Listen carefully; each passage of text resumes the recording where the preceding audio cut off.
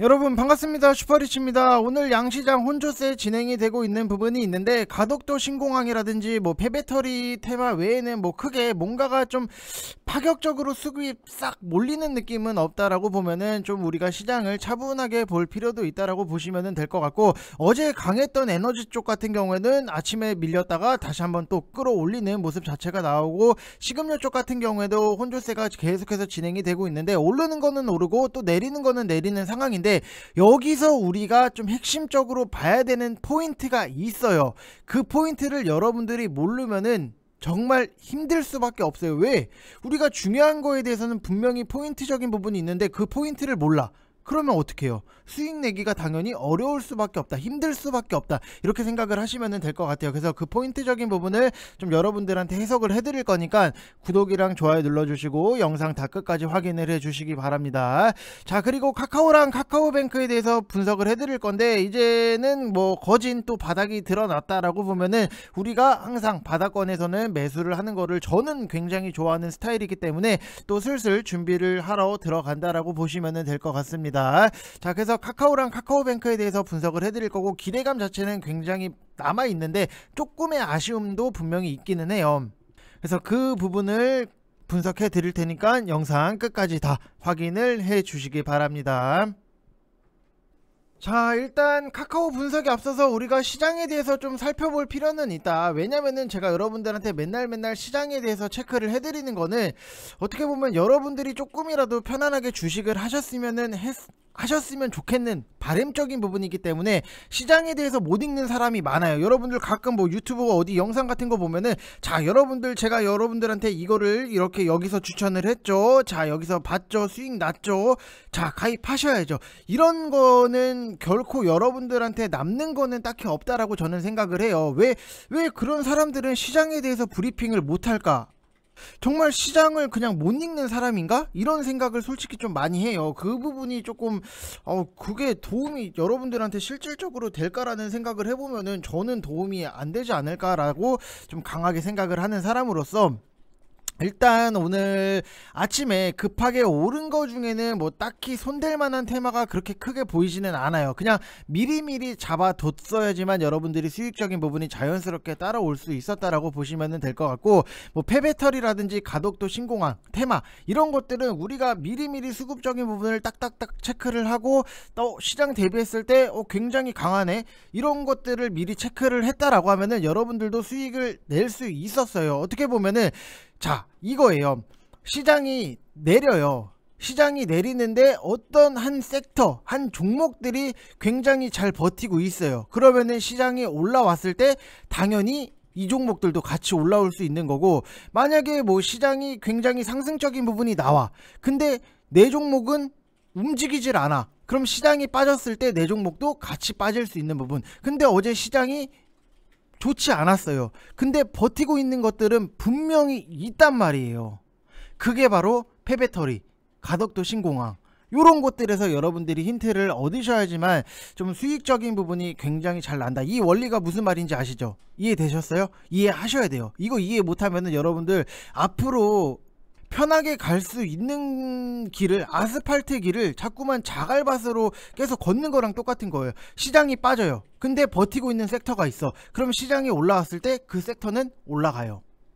근데 시장이 올라가. 근데 내가 어떤 종목을 매수를 했어. 근데 안 올라가. 그럼 시장이 내려갔을 때 이 종목도 같이 내려간다. 이거를 이해를 하셔야 돼요. 그래서 제가 추천을 VIP방에 드렸던 거는 NPC 같은 경우에도 4월 26일부터 1,900원 이하로 여러분들 매수하세요. 매집하세요. 매집하세요. 이거 우리 오늘 크게 크게 먹고 나올 거예요. 매집하세요라고 강조를 드렸던 부분.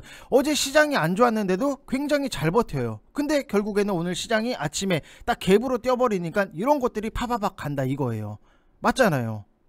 그리고 추가적으로 보면은 이지트로닉스 이런 것들도 당연히 뭐랑 같이 묶여요? 폐배터리, 이지트로닉스, 영화테크, 코스모화학, 웰크론, 한테, MPC, 폐배터리 관련주. 2박 3일 직장인 단타. 4월 26일. 그리고 이지트로닉스도 오늘 바로 저는 같이 없으신 분들 이것도 좀 사세요. 2200원에 매수가 정정까지 해드리면서 잡을 수 있게끔 다 만들어 드렸어요. 근데 어디 막 이상한 데 보면은 매수가가 안 와.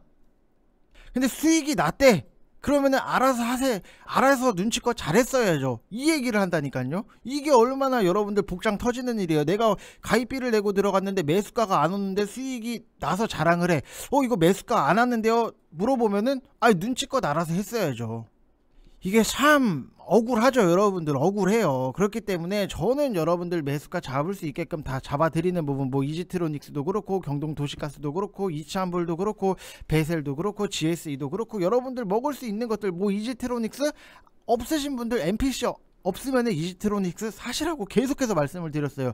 결국에는 뭐 8%대 수익 NPC 뭐 11% 여기서 또 보면은 뭐 이지트로닉스 7% NPC 11% 이지트로닉스 뭐 7% 먹을 수 있는 것들에 대해서 깔끔하게 먹고 영화금속 같은 경우에도 결국에는 뭐예요? 가덕도. 그리고 여기서 보면은 덕신 하우징 가덕도 다 먹을 수 있다니까요 여러분들. 그거에 대해서 여러분들이 조금만 더 신경을 써서 보시면은 충분히 수익적인 부분이 잘 나올 수 있다라고 보시면 될 것 같고 여기서 매일 수익이네요. 감사합니다. 남겨주시잖아요 여러분들도 된다니까요. 안 되는 거를 되게끔 만들어 드리는 게 제 역할 중에 하나다라고 보시면 될 것 같고 저는 항상 뭐 단순하게 여러분들한테 수익에 대해서 뭐 증명을 해드리고 인증을 해드리는 부분이 있는데 그냥 어 뭐야 제 뭐 수익 자랑하고 앉아있네라고 생각을 하지 마시고 정말로 이게 제가 여러분들한테 유튜브에서 말씀을 드리는 이 공략법이 맞아 떨어지는 거에 대해서 증명을 해드리는 거예요. 그러니까 여러분들도 그거를 보시고 하시라는 거예요. 무슨 말인지 이해되셨죠?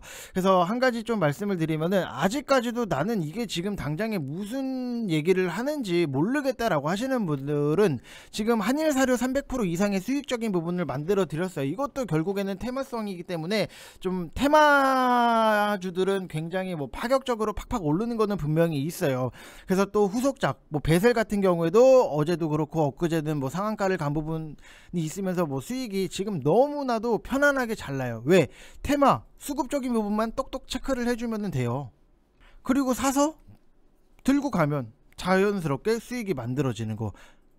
지금 보면은 한일사료도 제가 3,150원 이하로 좀 매수를 하시라고 말씀을 드렸던 부분이 있고 한일사료도 뭐 325.84%의 수익적인 부분이 났는데 어디 말도 안 되는데 가보면은 여러분들 뭐 2% 3% 수익 났는데 막 박수치고 노래하고 막 신나요.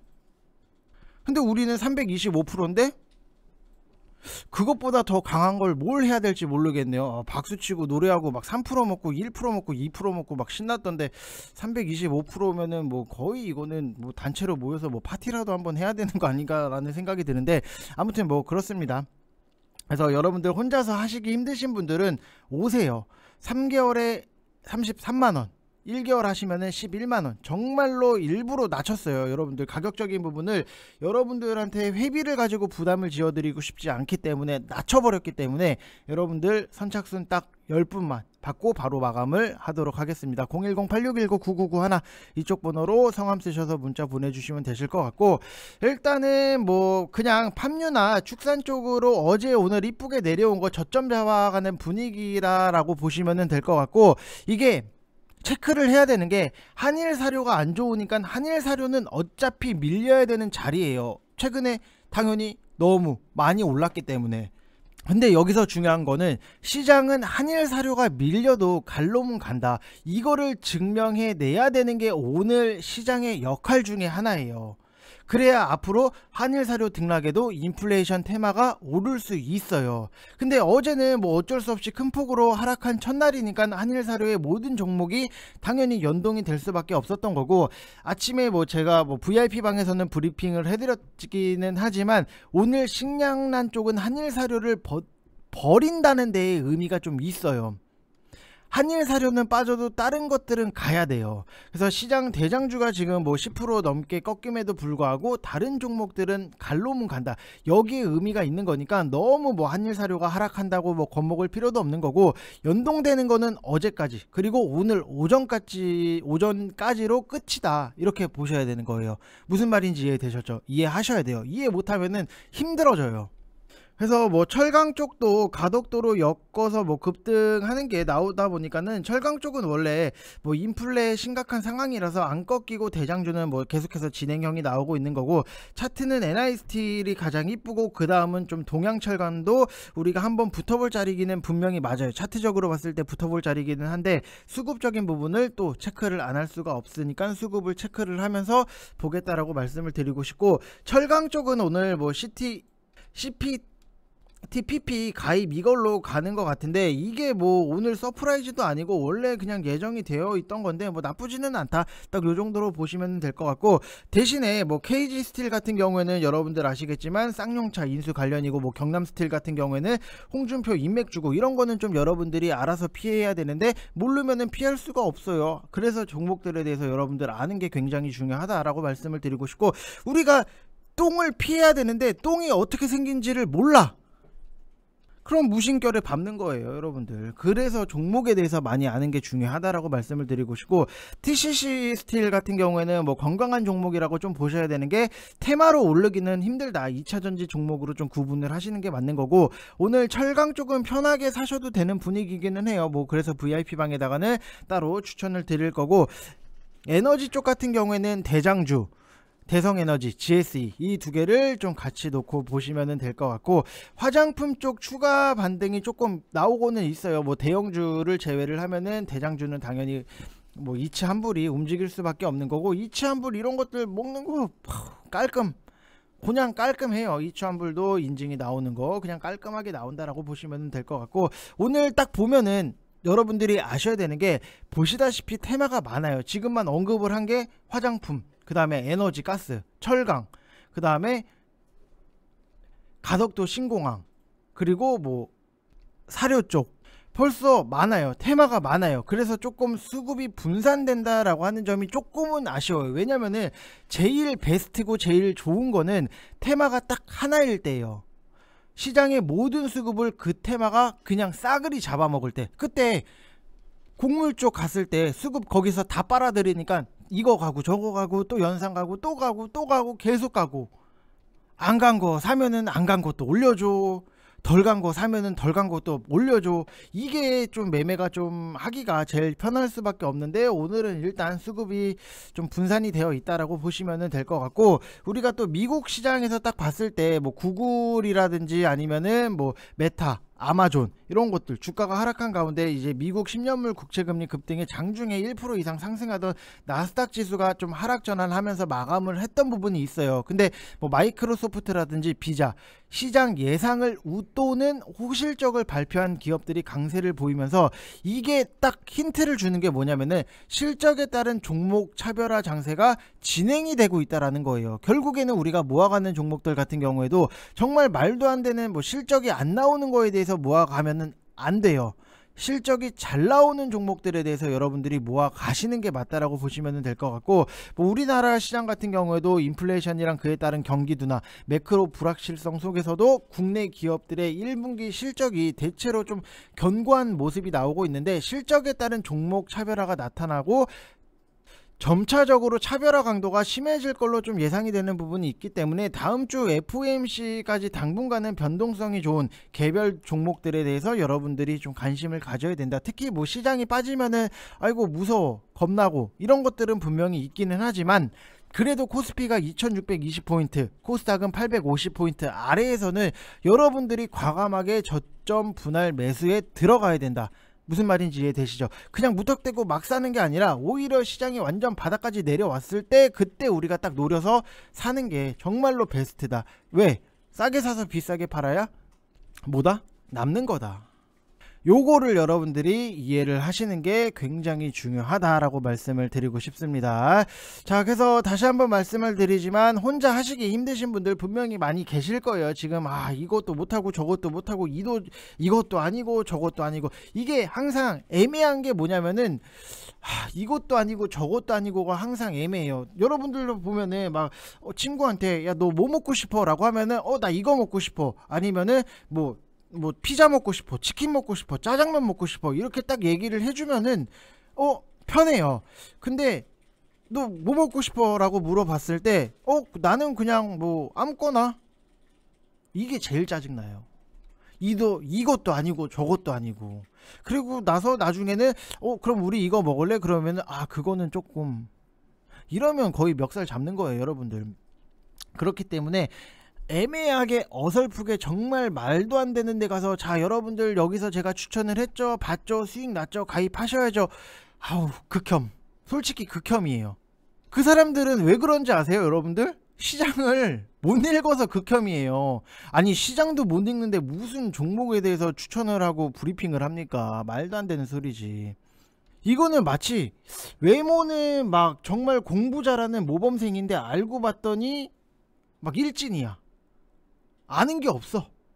무슨 느낌인지 아시죠? 그렇기 때문에 여러분들이 그런 거를 뭐 거르는 것도 결국에는 여러분들이 시장에 대해서 좀 어느 정도를 아셔야지만 걸을 수 있지 않나라는 생각이 들기 때문에 저는 시장에 대해서는 항상 여러분들한테 브리핑을 해드리도록 하겠습니다. 남는 게 있어야죠. 유튜브를 보는데 뭐 하루 종일 자랑만 하고 있으면 그게 뭐 남는 겁니까?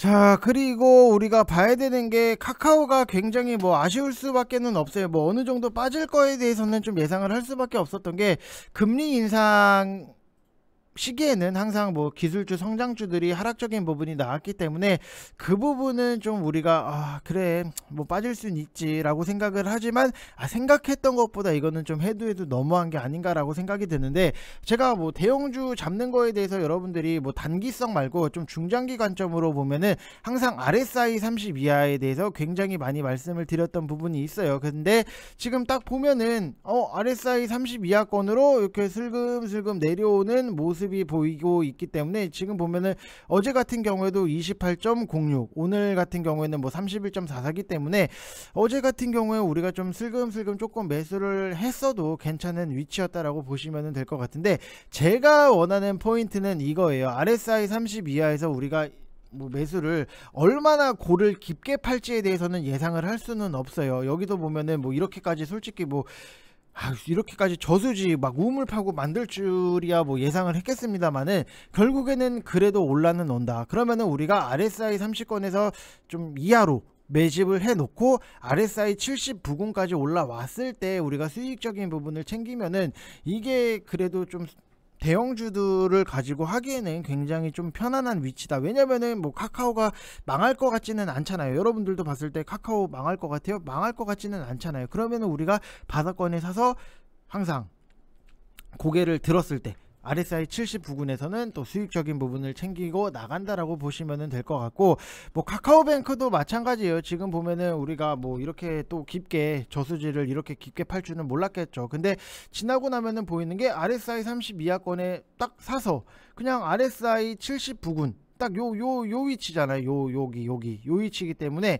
우리가 이 부분에서 팔았다라고 하면은 그래도 수익적인 부분은 만들어질 수 있는 구간이 있었다라고 항상 제가 뭐 많이 말씀을 드리기는 하는데 뭐 믿고 안 믿고는 여러분들의 차이지만 항상 지나고 나면은 보이는 게 요런 곳들이 다 보인다라고 보시면 될 것 같고 카카오 같은 경우에도 뭐 1분기 연결 영업 실적 같은 경우에도 뭐 전년 대비했을 때 마이너스 3.2% 그 다음에 영업이익 같은 경우에는 오히려 전년 대비했을 때 41.7% 10% 어, 괜찮은 좀 기대치를 하고는 있는데 우리가 원하는 거는 이거예요. 뭐뭐 플랫폼 부분의 비수기 영향도 당연히 있었을 거고 오미크론이라든지 뭐 우크라이나 전쟁에 따라서 수요 위축 영향 뭐 이런 것들도 있었을 텐데 소폭 감소하나 영업이익 같은 경우에는 전분기 대규모 일회성 비용에 대해서 역기저 효과로 인해 대폭 증가할 걸로 좀 예상이 되는 부분이 있는데 그래도 그래도 기대할 거 기대할 수 있는 잠재력은 좀 남아 있다라고 보면은 핵심 사업도 모두 고성장을 지속적으로 뭐 만들어내고 있고 클레이튼 메이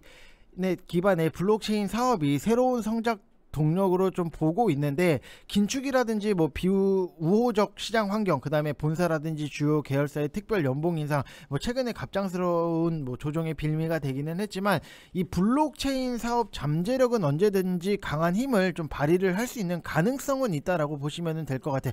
아예 희망이 없으면은 뭐 당연히 여러분들한테 아유 과감하게 좀 정리를 하세요라고 말씀을 드리겠지만 그래도 어떻게 보면 비빌 언덕 기대를 할 수 있는 거는 남아 있다라고 보시면은 작년 7월 달에 런칭한 이제 디지털 아트 중심 NFT 거래소 클립 드롭스 같은 경우에도 국내 유명 아티스트들 대부분 참여를 하면서 285점의 작품이 등재되었던 부분. 그래서 올해 1월까지 누적 거래액이 100억 원을 달성을 하고 성장에 좀 어느 정도 좀 시동 시동을 걸었다라고 보시면 될 것 같고 클레이튼 mainnet 기반 토큰에 대한 swap 거래소 그 다음에 DeFi 뭐 서비스 플랫폼인 클레이스왑 뭐 이런 성장 잠재력도 굉장히 큰데 여기서 클레이스왑에는 다수의 클레이튼 mainnet 기반의 토큰이 launching이 되어 있고 올해도 MBX 뭐 등등 해서 launching이 되고 신규 토큰도 꾸준하게 launching을 하고 있어요. 그래서 클레이튼 mainnet 기반 토큰들이 각각의 생태계가 성장을 하면서 가치가 상승을 하고 swap 거래가 많이 일어나면은 수수료 매출도 당연히 증가를 할 수밖에 없는 거고